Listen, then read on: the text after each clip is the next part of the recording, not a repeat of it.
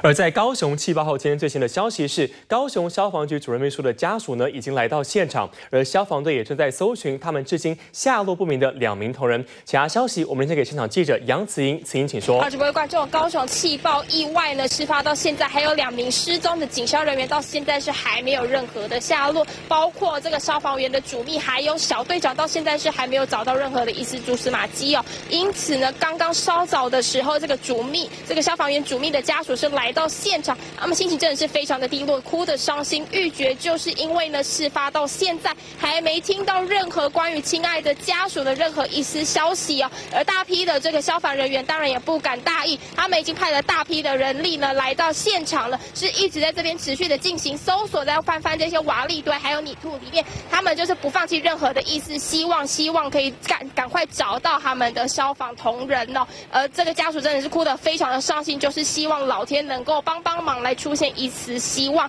而另外呢，可以看到这个凯旋路还有二生路口这边哦，其实现场有很多这个抽水机还有抽水管，就是因为早上高雄是下起了雨哦，也让涵洞这边是积了水。而涵洞这个其实是检察官要调查的一个非常重要的重点，因为这边就是可能是第一个气爆点。而早上这个雨哦，真的是让这个涵洞积水，因此派出了这个抽水机在现场抽水，才可以进行这个调查的工作。而刚刚稍早的。时候呢，检察官是进入到了涵洞进行检查，也证实了，就是这涵洞里面有三条管线，其中有一条是的确出了问题，这也是这个调查的一个新重点之一哦。所以呢，他们已经。打算要在明天早上呢切割做化验，也会把这个业者叫到现场来厘清整个事实真相。如此大动作赶进度，就是希望能够早日厘清整个肇事原因，也要让这二十八条人命呢要揪出这个整件事情的罪魁祸首。以上是现场掌握最新情形，主播。